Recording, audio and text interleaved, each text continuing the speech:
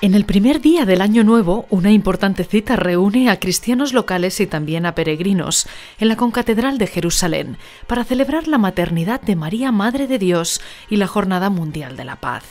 También un grupo de scouts de Francia participaron en la celebración.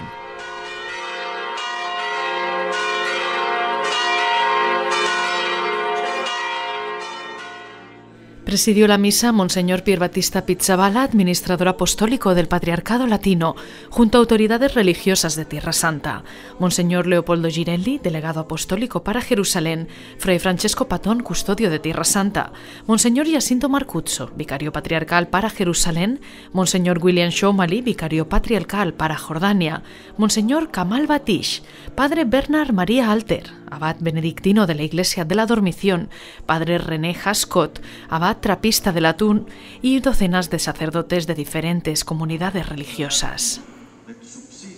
La acción política y el reino de Dios ha sido el tema de la humilía de Monseñor Pizzabala. El Señor, al nacer entre nosotros, ha puesto sobre la tierra el inicio del reino, y nuestras ciudades son el lugar en el cual el cristiano construye con su acción el reino de Dios. El reino es todo lo que da expresión a la gran novedad cristiana, no solo a nivel personal, sino también social. Monseñor Pizzabala ha subrayado también que política es todo lo que construye la paz, la defiende, regulando y organizando con sus específicos criterios la vida social de la ciudad. Sit nomen Domini benedictum. La buena política está al servicio de la paz. Es el tema del mensaje del Papa Francisco para la celebración de la Jornada Mundial de la Paz. Vi benedica il Signore e vi custodisca. El reino de Dios no es una ciudad construida, sino una ciudad siempre en construcción, porque subsiste en las relaciones entre los hombres.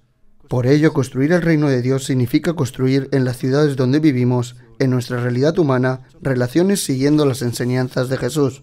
Por ello, dignidad, igualdad entre hombre y mujer, justicia y perdón. Cuando trabajamos por estos valores, construimos el reino de Dios. Tras la celebración, los participantes tuvieron un momento para intercambiar felicitaciones por el Año Nuevo. En el corazón el recuerdo de la bendición del libro de los números.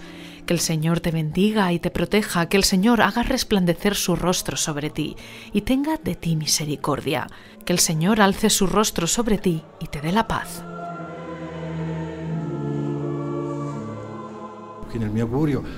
Mi deseo, sobre todo en nuestra iglesia de Jerusalén y de todo el mundo, es que seamos buenos políticos, es decir, personas que saben construir en su ciudad el reino de Dios con la fuerza que solo el Señor puede dar. grazie a. Buon anno.